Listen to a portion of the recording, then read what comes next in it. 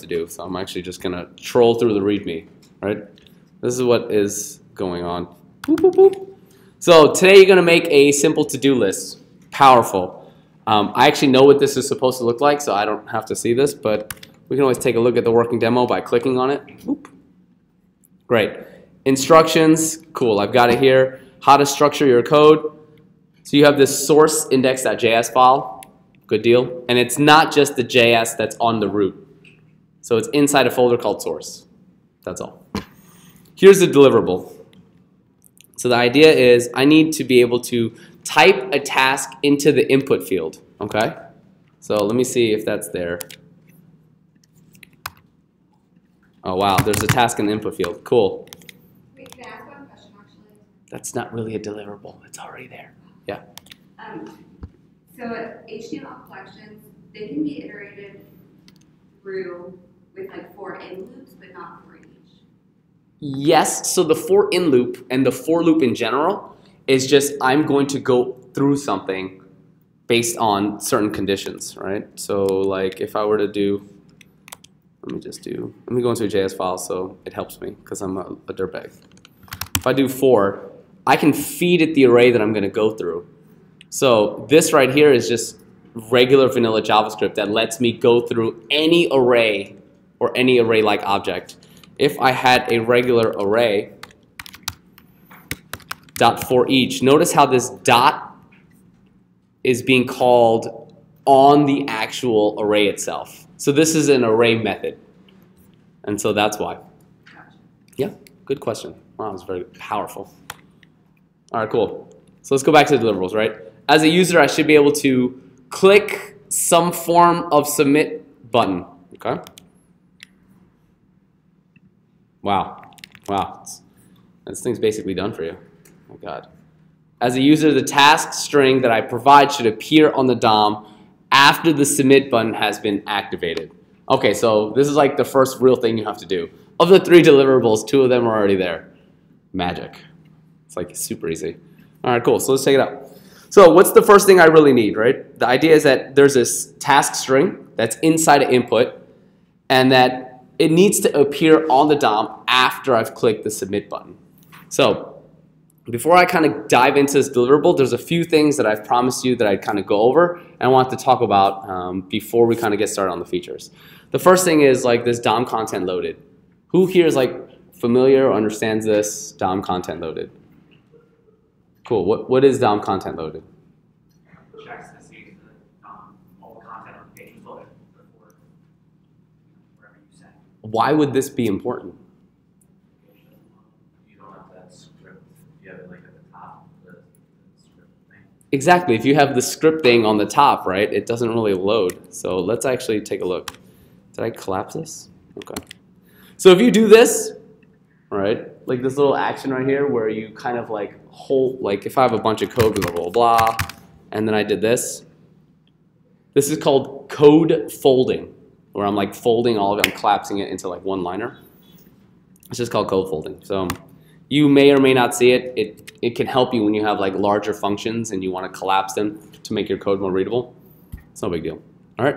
So let's take a look at this index.html, right? Notice how I have my script tag at the bottom over here. If I were to put the script tag here, and I did not have this, boop, it's gone. Let's do this. So my script tag's right here, right? Inside the head. The way your HTML runs is it will read and parse through and execute line for line. So it'll read this head tag and like, cool, good to go. It'll see this link tag. It'll be like, okay, this is a local style.css file. So I'm gonna pull that style.css into my HTML. Then it's gonna see this script tag and it's gonna pull this local file into my HTML. It has to go get the file, then read and execute it, and then it's going to load the rest of my body. So what does that mean for you? It means that if I have a div with the ID of main content, let's take a look. I can simply do document.query selector, and I can pass in the ID of main content, and then I'm just gonna make this uh, main. So if I console log main, what should be there?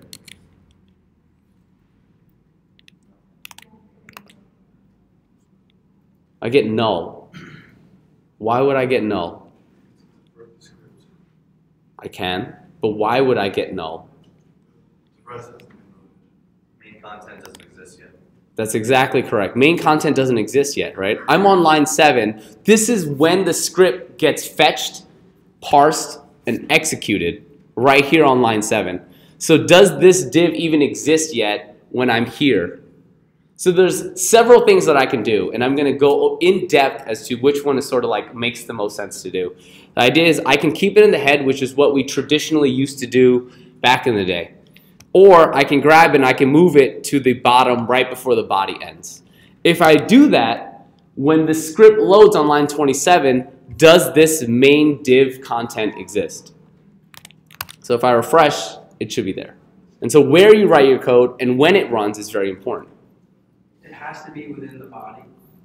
It- It can't it- be outside of it. It can, but typically they just put it at the end of the body. Convention the body. Yeah. So there's a couple things that we can do, right? So Oscar had mentioned that there's a tag that we can add in here, right? And that is an attribute of the script tag called defer. So what defer will do is literally wait until the rest of the HTML loads before this script tag will execute. There's also another one that's called async. So I can put in this async. That means that it will asynchronously get this and then fetch and then parse it. Does anyone know what async means so far? What, what is async? Uh, pretty much means that I get to do multiple tasks at the same time, doesn't depend on executing each one at a time, so. I could execute the HTML and also run the script. at the same time. Yeah. So async just means that something is happening at the same time as something else. Right? So if something is being done synchronously, it has to be one, then two, then three, then four. Just so I make sure I understand it, so you're saying that when you add that async to the end of the script tag, Mhm. that's running while the HTML is running as like simultaneously? Yeah. So let's actually take a look at this like baller article that I pulled up for you. Ready? So the position matters, right? We kind of went through this. Like where that script tag goes is pretty important to what's going on. So there's a couple things you can do. You can use either async or defer. And so here's what happens when you load just the HTML, the script in the head tag without either async or defer, right? The first thing is it starts the parsing of the HTML, right? You're in the head tag, then you have that link tag that we saw, then you saw the meta tag. So you saw this, you saw this, you saw this. It starts to parse that HTML. Then when it gets to your script tag, your HTML cannot load until it gets the JavaScript file, it downloads it, and then it executes the script. And then the rest of the HTML will load, which makes sense because that's why when it was here, this main content didn't exist yet. So far, so good. Now, if you put it at the end of the body, all of your HTML will run, and then right at the end of the body, it will fetch and execute the script. Which is why that main div existed at this point when I moved the script tag to the end of the body in the HTML. So far, so good. If I put async, it's going to start parsing. It's going to fetch the script asynchronously. So if my JavaScript file is 900 lines long, it's going to get it and then it's going to download while still loading. But once it finishes downloading, it has to run all 900 lines. And that's going to pause the reading of your HTML. And so that's what async does. It just simply means that the fetching, the getting, and the downloading of your JavaScript file happens at the same time. Doesn't mean the running of your JavaScript file happens differently. Uh, so like, how would you, like, would it still know main in this specific scenario? Like, how far? It's get? that's the problem. It becomes very indeterminate. So you can't tell. You can't tell because it's going to go get it, and then the HTML is going to continue running, And then once it starts running, it could be anywhere in your HTML. Now with the defer, it's going to run through, it's going to get and download, and then at the end of the HTML, it's going to run. So in terms of speed, defer is probably your best option if you put the HTML in the head tag. Cool? Any questions on like async, defer, where you put the script tag, and kind of like what folks do now is like best practice? So is is defer pretty identical to DOM content? No, DOM content loaded is going to be the same as putting the script at the end of the body. Okay. Yeah. Because with defer, you actually fetch the script at some point, but with putting it at the end of the body, with defer, it had already downloaded it while it was reading the HTML. So you, you're saving a little bit there. Versus DOM content loaded, which would be kind of like here. Not really. Not, not really, a little fuzzy on defer. Okay. I don't want to take up like a ton of time, but the bottom line is take a look at this. What's going to happen is it's going to read through my HTML. It's going to see the script tag, go and download it, but not run any of the JavaScript. Because remember, hopefully this like helps you out a little bit. We talked about this network tab. And when I hit refresh, you could see all the files that get downloaded. You can see all the files that get downloaded here. So it took 43 milliseconds to download my, I don't know, two lines of JavaScript. But if you had a ton of JavaScript in this file, it might take a little bit longer. So the idea is that I'm just going to download it, wait until the end, after the HTML is done, then execute the JavaScript.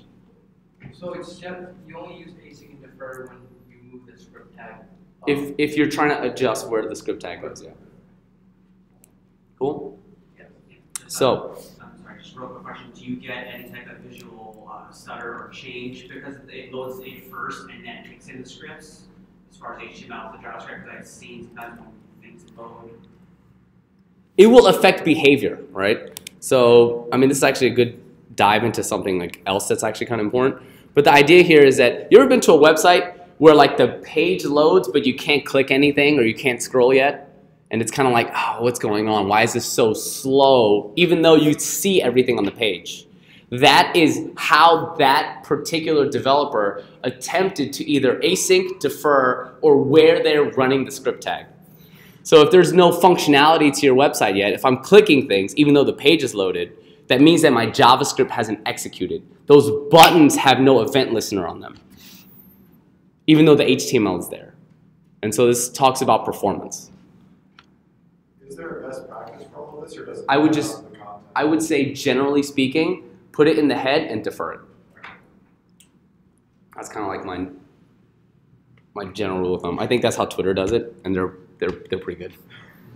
So, cool. Any questions on this? How are you guys feeling about this now? A little bit better. All right. So if I were to not put async or defer here at all, remember that this script tag loads immediately. And so what I can do is add an event listener of DOM content loaded to make sure that the rest of the HTML loads so I have access to it. So I'm not getting that weird null whenever I do a query selector. Cool? So instead of DOM content loaded, what I'm going to do is I'm just going to put defer. All right? Sweet, good deal. So we should still see main here, and it's still there. All right, so now back to this feature, right? Actually, there's a there's a lot of questions that I got yesterday, so I'm going to talk through a lot of these, right? So DOM content loaded defer. We good on this? Gone. The next thing is this arrow function syntax, right? We have function keyword, right? And we can put um, Charlie Brown. Boop, boop. And then we have the arrow syntax. So I can do const, right? Charlie Gray. I don't know why you want to do that. And then I could just do this right here, like the parentheses, and then use this rocket syntax to make it. So the only difference is instead of the keyword function, I have this little hash rocket after the parentheses. That's really the main difference. For what you need to know right now, there's literally no difference for what you need to know right now between those two. So I can take Charlie Gray and I can invoke it because remember this is just a variable that holds a function or I can just invoke Charlie Brown as a function. You guys feel like okay about this arrow syntax? I would say for right now, until we get to the arrow syntax, you should just get practice just writing this. Just, just do functions everywhere. All right? Unless you feel really comfortable with the arrow, just function everything. Cool? All right. Is it is it the is it like the fact that it's like pitch black in here and kind of like You guys feel like you're watching a movie? This is so weird. All right. Okay, okay. All right, cool. All right, so the next thing I want to talk about is this like the fact that um, unfortunately I didn't have the chance to talk to you about um, what to expect when you're expecting Mod 3. The last bit of it is JavaScript's the Wild West, right? In Ruby, there's a way to write Ruby. Rails is very opinionated. If you don't write get to slash exactly the way it wants it, it will punish you and then tell you the exact syntax it wants. JavaScript, as all of you have now learned in all the labs, and you've probably talking to your, your friends and your battle buddies, like, hey, how did you do that? Oh my god, that's weird. Does it work? Cool. You can do the for in, you can do the for of, you can do a for each, all right? You can append child, and then there's something I'm going to show you today, and you can start messing directly to the inner HTML. And so there's so many different ways. No way is necessarily, generally speaking, better than the other. So it can be very confusing because there's so many different ways to do it. That's why the only thing I want you to take away from Mod 3 is the understanding of the language and the process. Like what information do I need? What am I trying to do? And then how do I want to approach writing it? If you can know, if you could figure that out, however you want to do it, will be okay. All right? Cool. And then we're actually going to get to like this data set attribute. So again, the deliverable, right? Like I said, I'm going to lose myself, my train of thought. But as a user, right, somebody puts in a task string, and then now I want to be able to slap it on the DOM. So Someone want to help me out here? What, what information do we need and what are we trying to do? Need the submit button, the, the thing that's gonna be listening for an event. Okay. So do we have a submit button here? And do we want to listen to the submit button? The idea is that we want to make sure that once the user submits this form, then I want something to happen, right? So this right here, even if you look at the HTML, this is actually an input. The type is submit, but it's a part of this form, right? So I want to wait until the user submits this form before I do anything. Knowing that, I want to wait until the user submits the form. What do I need? I need the form. I need the form. It, the form itself, right? Because I can't really do anything without the form. So how would I grab the form?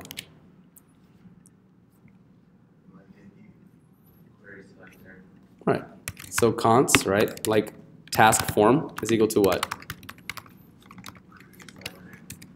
Right. I can select it based on its ID, which is. Right. So far, so good. Cool. So what do I want to do with this task form? All right. I probably want to now listen to see when that form is actually submitted. The idea is that you should be console logging all of these things every step of the way so you make sure it's there. So on the task form, I want to listen for that submit event. So I can add an event. Huh, why is that not finishing for me? Bizarre. Okay, and what event do we want? Have you taken a look at all the events yet? Have you guys seen the events? Yeah. Okay. And what event do we want? Submit. Submit, smort. And then once it submits, we have to tell it what to do. All right? So it needs a callback function that I'm going to write in line right here. And this callback should know about the event that's actually happening. So I'm going to pass an E. And let's just try to console log e dot target. Like what is it that I clicked? I want to make sure that everything is like running smoothly as expected. Blah, blah, blah. And I hit this, and it seems to do that weird sort of refresh, right? Does anyone want to explain what's happening here? What were you gonna say? Right, yeah, so it's reloading the page sort of, and it's doing this like post action because forms by default will attempt to send a post. But where is it post? Right now it's going nowhere. So it looks like it's just refreshing. So we want to prevent that sort of regular behavior, that default behavior. So I'm going to take the event, right, which is the submit of the form, and I want to prevent the default of that form submission so that now I can handle it with JavaScript and not with HTML's defaulting actions. Okay? Okay, okay, okay. So now I'm actually getting the form every single time, all right? And I'm pausing that sort of prevent default. Cool? All right, so now what's next?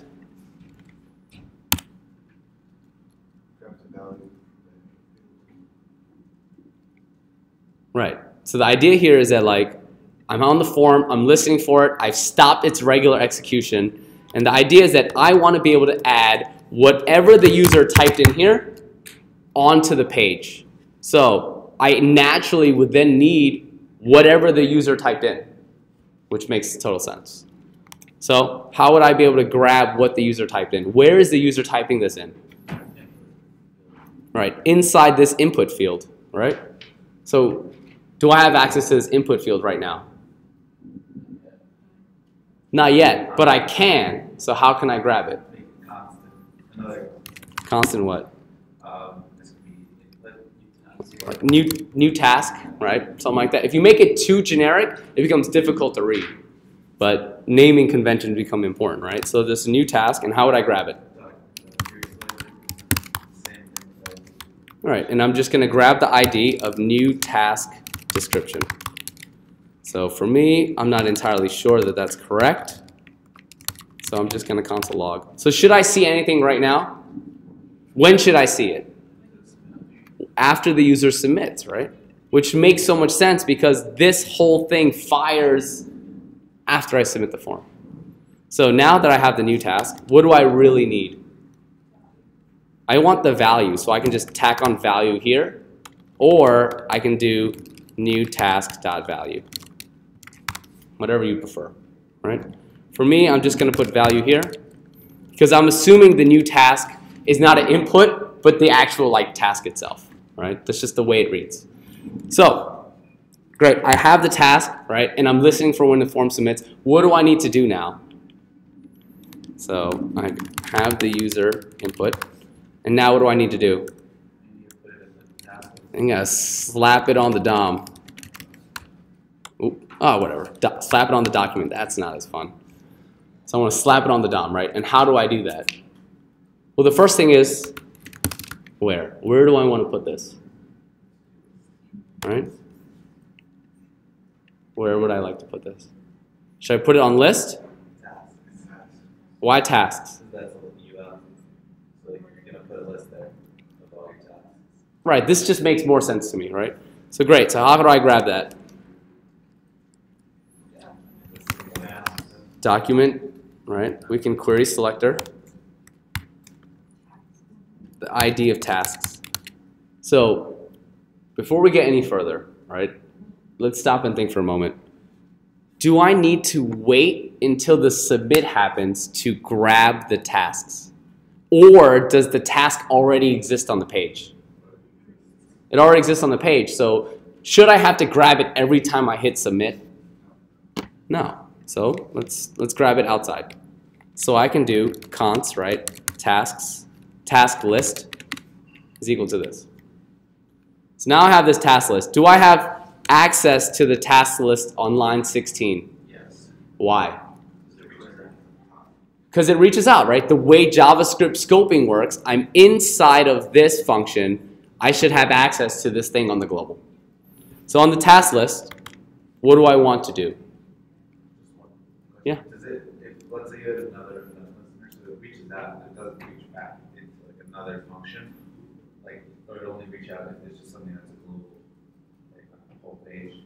Like if you had, would it go inside another it will no. It only goes outwards. It won't like jump into something else. Yeah, it's weird like that.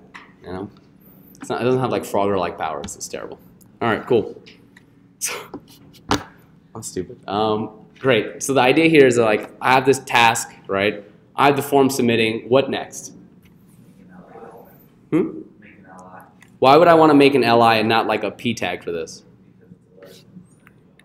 Right, just always being aware of like what you're adding to. This is an unordered list, so it makes sense that I need to make a li. So how do I do that? Right, I can simply make the element, and what do I want to make? An li.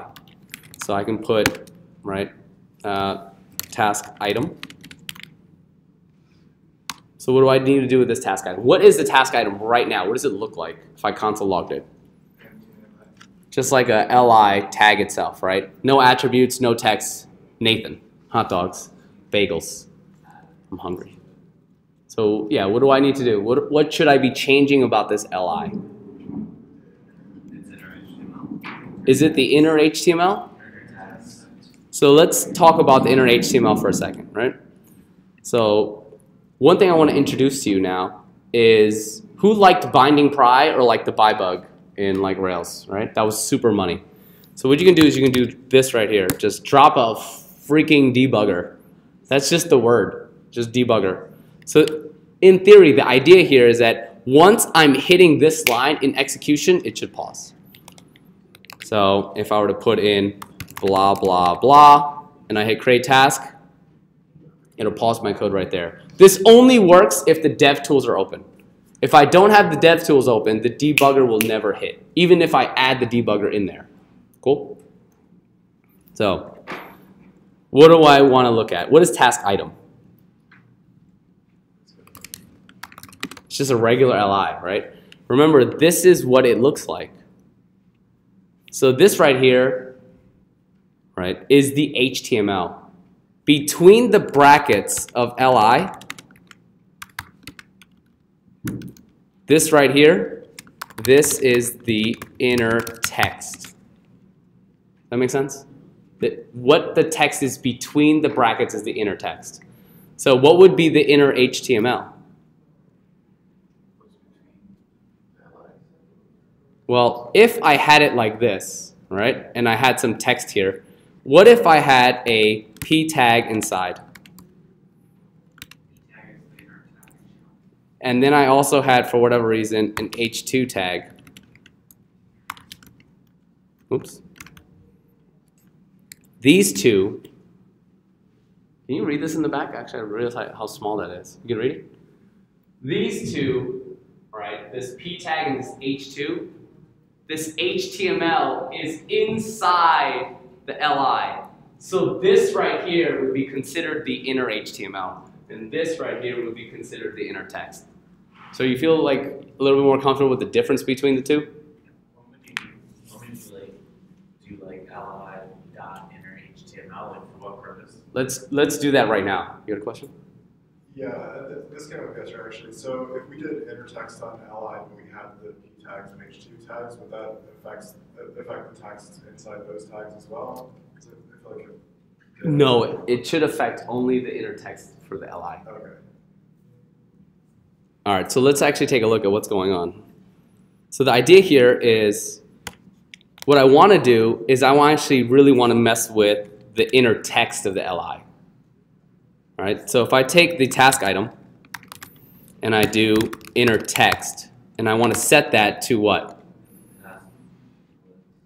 So a good a good debugging tool is you hard code everything and then you test it and then you interpolate your variables just to see if it works. So if I hard coded, all right, for show, the idea here is that if I put in whatever I wanted, it shouldn't append yet, but for show should be the inner text of the li. So if I put a debugger, and I put in just some gibberish. I'm in the debugger. So this like will evaluate a lot of things for you, which is kind of cool. So if I take a look at the, huh, that was bizarre. That's literally never happened before. Hmm. Hmm. Anyways, task. Wow. Okay. Cool. Oh wow, it doesn't want to evaluate for me. All right, we'll have to go old school. Let's console log it. Okay. Adapt and overcome. So if I boop boop boop boop boop. Run the browser. Huh? If you just code, you can do it right here. um, All right, cool. Uh, uh, anyways, you see here that for show is actually just like the inner text of li. And now we need to slap this thing on the DOM, right? So where do we want to put it?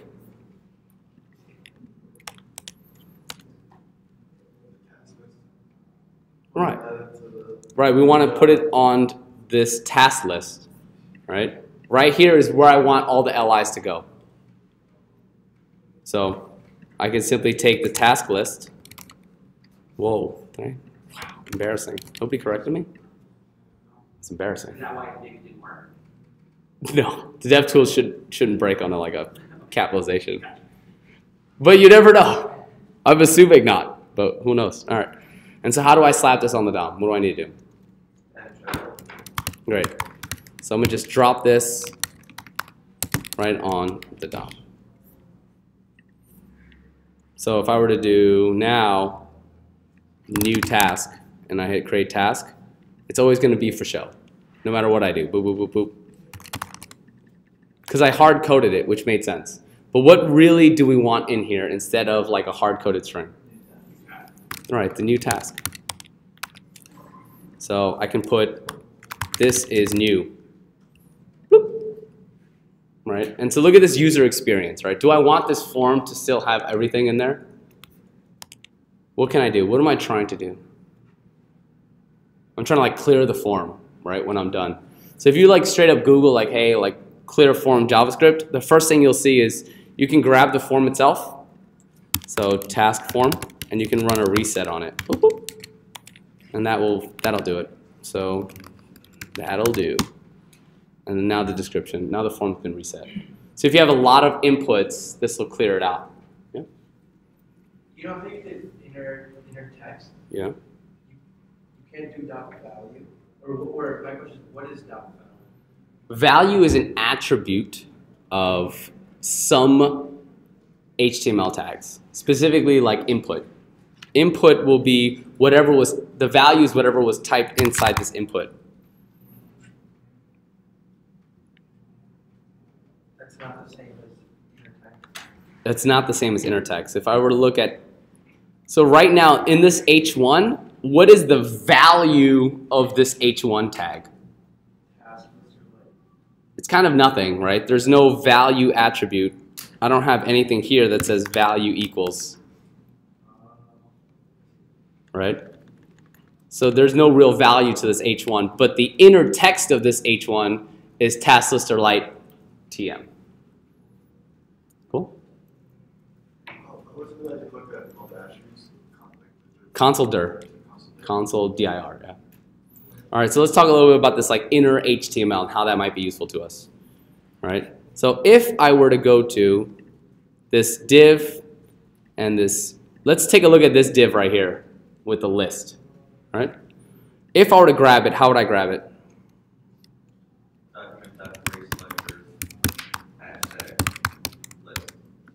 Right. Hashtag list.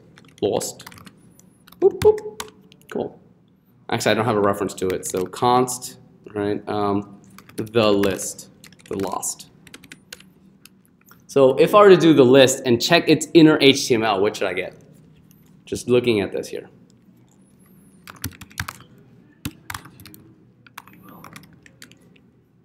This is what it looks like. The inner HTML comes back as a string, right? And it matches directly one for one this right here. Question?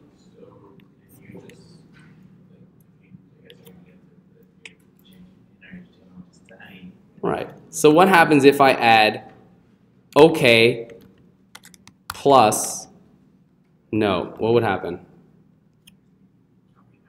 Okay, no? So if I were to take something like okay, and I were to add like a p tag that said no, what would I see? What if instead this was also a p tag? What would I get? I would get an opening and closing p tag and another opening and closing p tag just as a string. If I know that I can do that and I see that this right here is just a string and I know how to add strings, if I were to take the inner HTML and I wanted to add to it, and I wanted to add, say, a P that said, your. I used to say that for some reason. I don't even know what that means. What do you think will happen? What do you think will happen to this?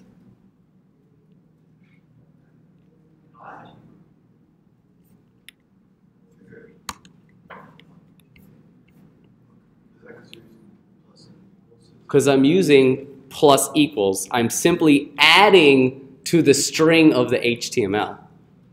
So I can use this to my advantage. Instead of slapping it on the DOM with append child, what I can do is knowing what we just learned, instead of creating the element with this document.create element and then setting its inner text,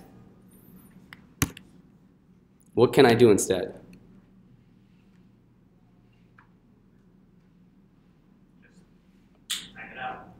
I could just type it out, but what do I want to add to? You want to add to the task list. That's right. So instead of doing all this, I can simply, on the task list, I can see what is the inner, in her, HTML for the task list, and what should it be right now. Remember, task list is ID tasks. What is the inner HTML of tasks right now? Nothing. But what do I really want to add to it? So I'm going to add 2 plus equals, because what happens if I just do equals? It'll just- reassigns over and over. But I don't want to do that. I want to add 2 every single time. So if I plus equals, and what exactly do I want to plus equals? Another p tag? All right, I want to add a li tag. And what do I want to add in here? For show? I want to add the new comment. How do I add that? I need the string interpolation. Oops. bloop. And so how do I do that? Friggin' money. But what variable do I want? Hmm. Who feels like they understand how this inner HTML is working? Who would rather create element and then and then uh, change the text? Okay, either one, totally fine. But I do want to warn you that notice how when you simply add to the inner HTML, it affects the DOM immediately. Right? If I put a string with the p tag, it adds it immediately to the DOM. That means that the DOM will react to the inner HTML being reset. What can happen is, and this is dangerous, is this is kind of like the best practice. So if you do this, you kind of do this, and then you can kind of do this. So if I wanted to add a bunch of stuff, like say, besides the li tag, what else do I want to add? a delete button, right? Do I want the delete button right next to the li or inside the li? Okay. Okay. What do I want to add? Oh my goodness. And what do you want that inner text to be? X for delete. So, Yup. Oh my gosh. So here's the thing. I'll get to the. Just be careful because what's stopping you from doing this? And running a function. Shh, It's bad. So this is known as like cross-site scripting. So just be careful with inner HTML as you're pulling from user input. All right, so right now we are currently pulling user input. That's what we're slapping to the DOM. So for your labs, for your understanding, and for just being able to manipulate the DOM, feel free to use this, but just be aware that there are some security issues with it. Cool? How would that, like, how would a person be able to do that to then? So the idea here, the idea here is new task is being interpolated, right? Whatever it may be. What if new task was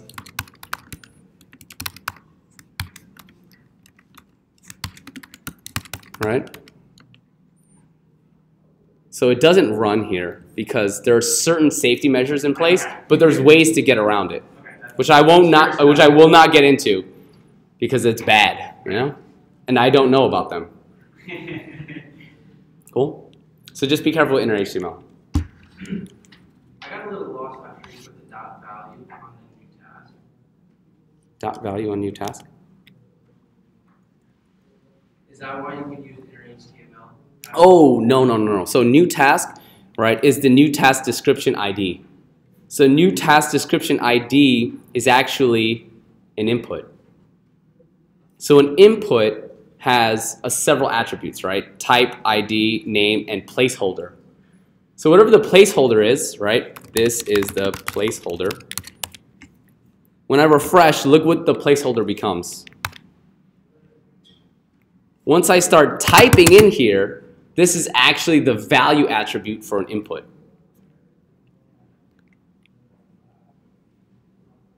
This is the placeholder right now, there's blank. So now it's a value attribute for the input. What you type is not value. Yeah, so whatever I type in becomes essentially this. Right? Like whatever I'm typing, Which is inner text. which is just value. It's a value attribute, Which is a string of text. which is a string of text. Yes.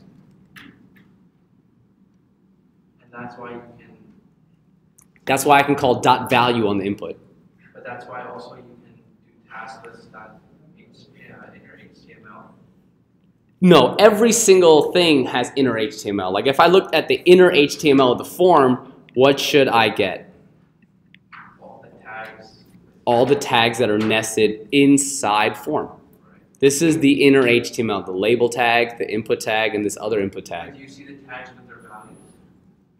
Or what's in the tag? You just see the HTML come up. Um, like when I when I got the ID list and I asked for its inner HTML, I saw an H2, a UL. That's actually it, as a string. This is the inner HTML of this div. Okay. Just like the inner HTML of this form would be label, input, and input. And the inner HTML of this div would be h1 form, label, input, input, div, h2, ul. Cool? All right, so cool. So we kind of went over this, right? The idea now is this X button, right? How many of you added an event listener right here inside this event listener for the for the delete button? Okay, so the idea here is we can take advantage of event delegation by simply looking at what everything is. Okay, no, yeet, show nuff, right? G is for gains. Let's take a look at this to-dos. This X button, they're all the same. All I need to do is click this button and the parent element should disappear. So if this is e.target, e.target.parent element should be the one that gets blasted. But let's take a look at this container now. what holds all of the delete buttons?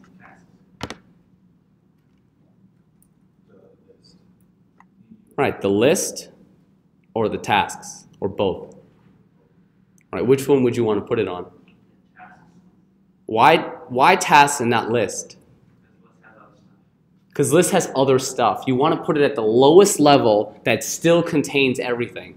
So if I had one event listener on task listening for a click, and if that click, the target had particular attributes, then I would do something. So let's get into this data set, and then we'll kind of call it for a day. Yeah? So right now, what I want to do is I want to add an event listener. The reason people tend to think like I should add it right here is because, oh no, I don't actually have right here, outside the submit, I cannot grab each of the delete buttons because it doesn't exist on the DOM yet. But does task exist on the DOM? Yes. So if I add an event listener to tasks and I just slap things to the DOM under tasks, remember that same rule. And that is if anything happens to a child, the parent will know about it. The parent will know about it. So if I add an event listener tasks, no matter how many LIs I add, this parent will still be listening to all the children. So if I add 20 tasks or one task, this one task div will still know. And so that's why event delegation could be useful because you don't know what will be on the DOM yet or how many, but you know where it will be. So that's why this HTML is the wireframe and that you just slap a bunch of things on it and you add event listeners to the right container. Does that, does sentence make sense to you guys? You want to add it to the right container. So, cool. So if I add an event listener to task, let's do that. How, do I have access to task right now? Great. I already have it. So I can do task list dot add event listener. And what am I listening for? A submit? The click. Oops, that's not gonna work.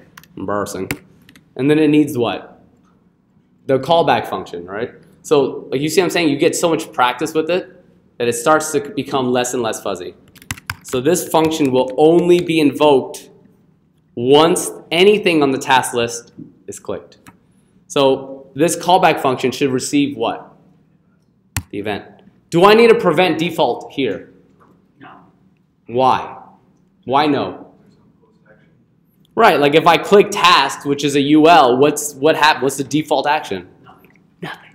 So if I see prevent default here, I'm gonna be like, okay, okay. It's just like a little thing for me. It's like, why did you do that? All right, and if you could justify it, then I'm like, cool. But right now, I, I don't really see a justification. Um, it just is an indicator potentially of pattern matching. So the decisions that you make need to start to be more purposeful.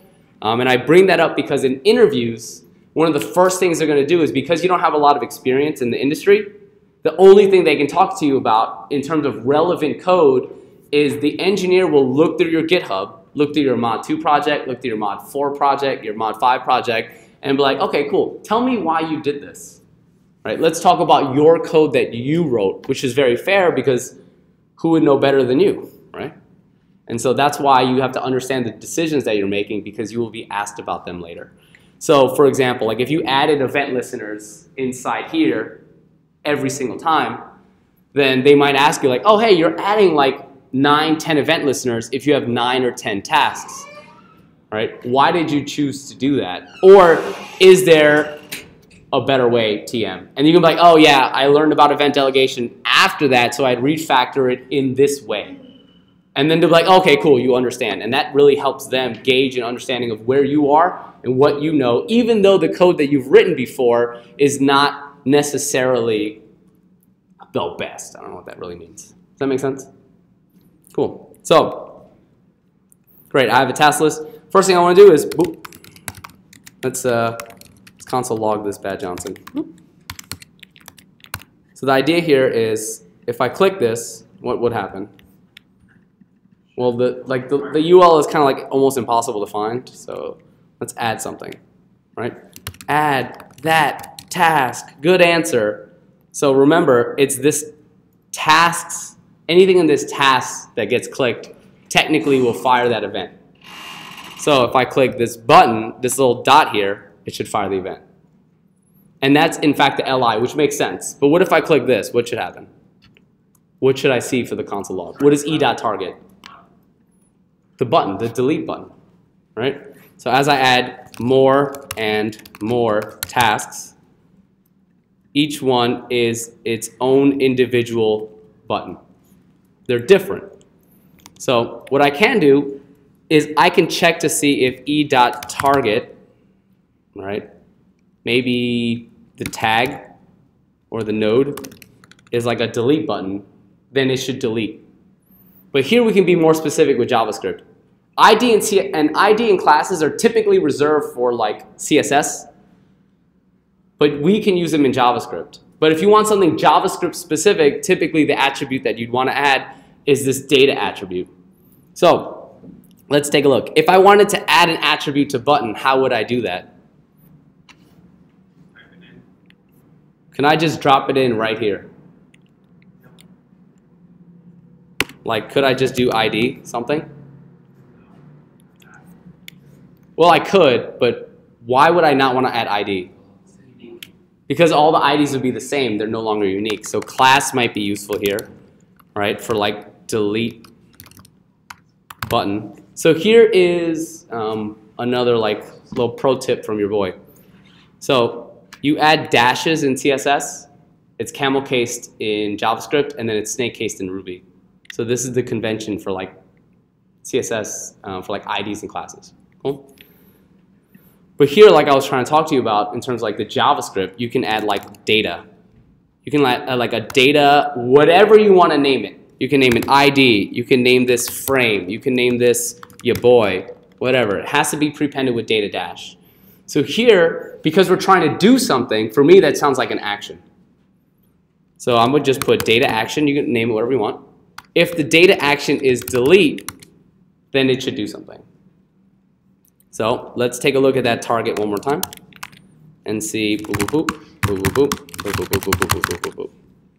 I now see that there's this like data action delete there. So how can I actually grab it? Well, hopefully the debugger will not be a bum today. Sad, bum, dev, tools. If I click this, okay, okay, okay. Great. So what is e.target? It's the button, right? How can I get to this data attribute?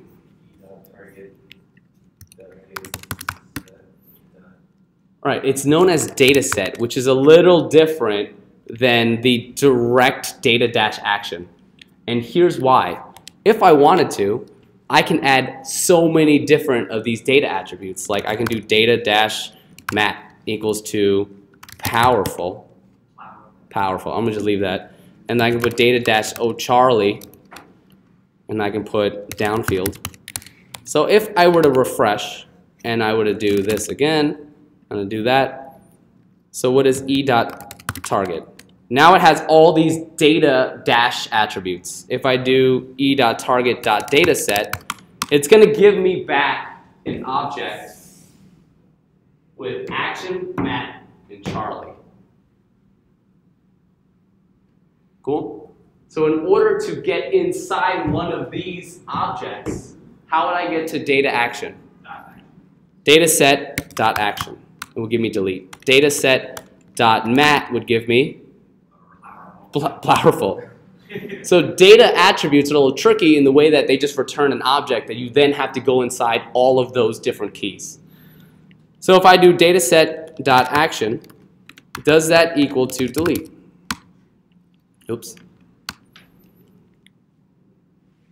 So in here, that should be my conditional.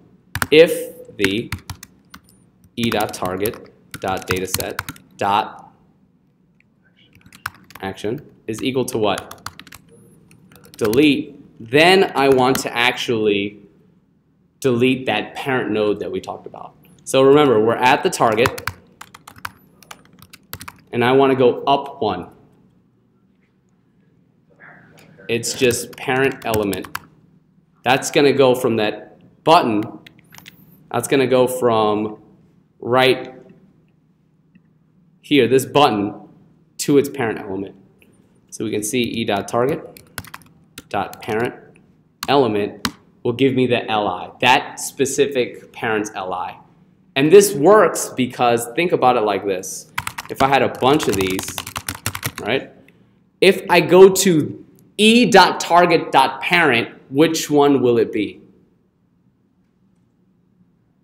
It should be fs. It's not going to delete any of the other ones. So I'm just going from the target one level. And it's always going to be relative to the target. So when I click this e.target.parent element, it's going to be this particular li.